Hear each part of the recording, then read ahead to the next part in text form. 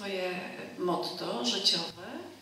Przeczytałam w internecie kiedyś bardzo mądre słowa i trzymam się ich do dzisiaj.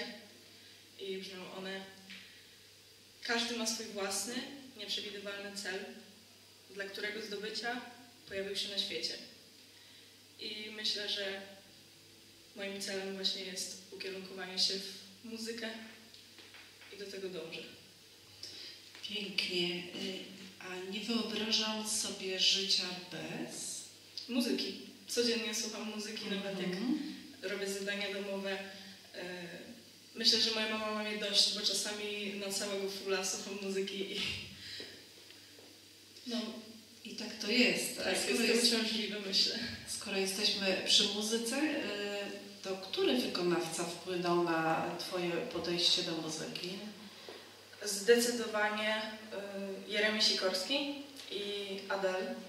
To są takie moje y, dwóch ulubionych wykonawców, których wspieram i śledzę ich twórczość.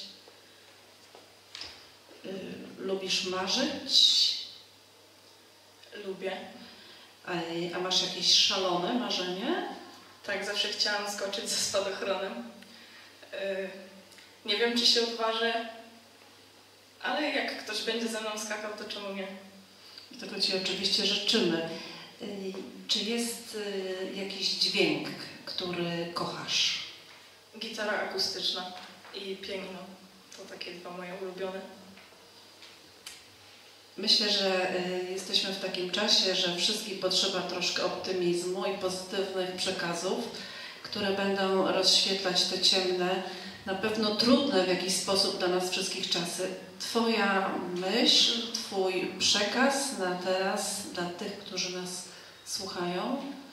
Po każdej burzy wychodzi słońce. Dziękujemy bardzo.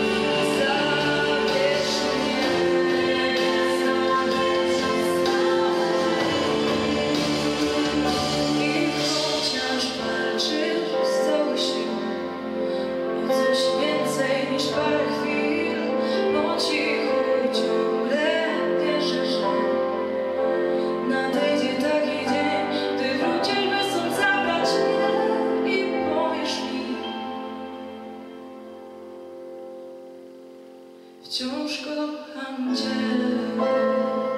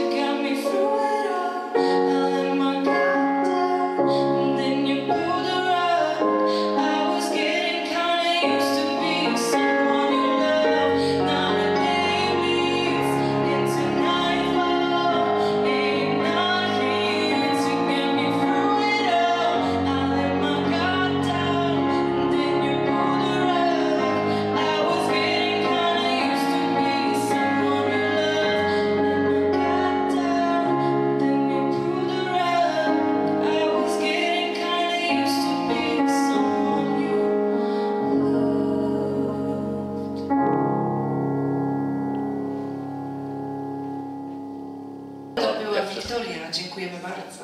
Dziękuję.